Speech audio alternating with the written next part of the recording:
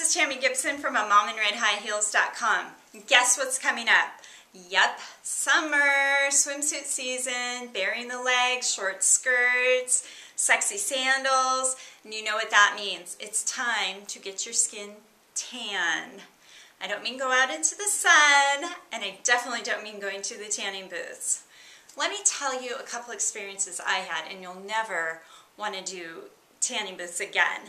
When I was early 20s, just starting out in college, I looked really great with tan skin, nice and healthy looking, I thought, healthy.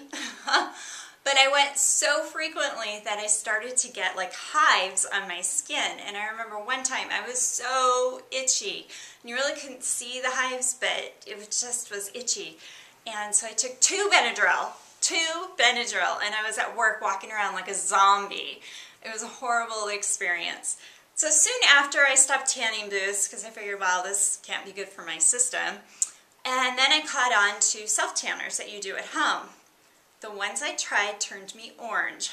I remember one time, after probably, you know, a long winter, my husband and I were going to drive to Vegas and hang out by the pool, just he and I. So I wanted to do a little self-tanner before we went. Well, about halfway to Vegas, I noticed, gosh, my toes are orange.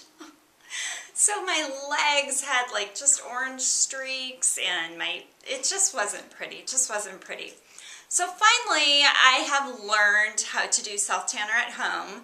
It's all about the product and something that is subtle and layers on.